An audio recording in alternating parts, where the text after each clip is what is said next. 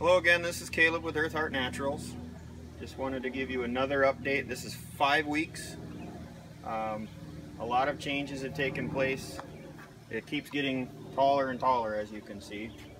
It's almost getting to the point where I don't want to lift it up on our table anymore. But the big change is taking place this week are all of the flower buds. And as I was talking about last time, we were making a change in our feeding program. I'm still doing the Earth Heart all-purpose, but now uh, tomato power has been introduced on the root level inside the, the actual uh, beanstalk garden.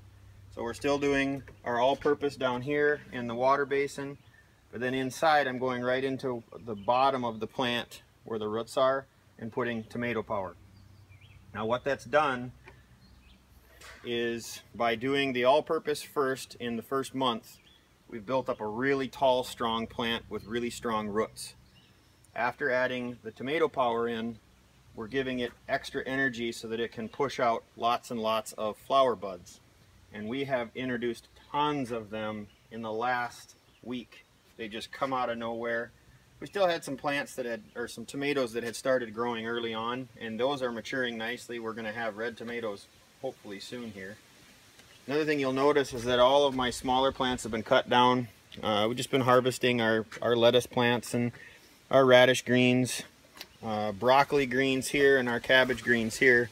And as we cut them, they're just growing back like crazy. So um, a lot of changes. We're excited about all of the growth that we're getting in a short amount of time and a lot of volume of vegetables, especially the tomatoes. We're going to have more than we can deal with here, so we're excited about that.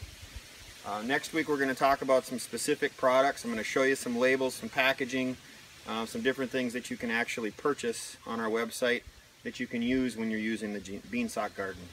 Have a great day and we'll talk to you in a week.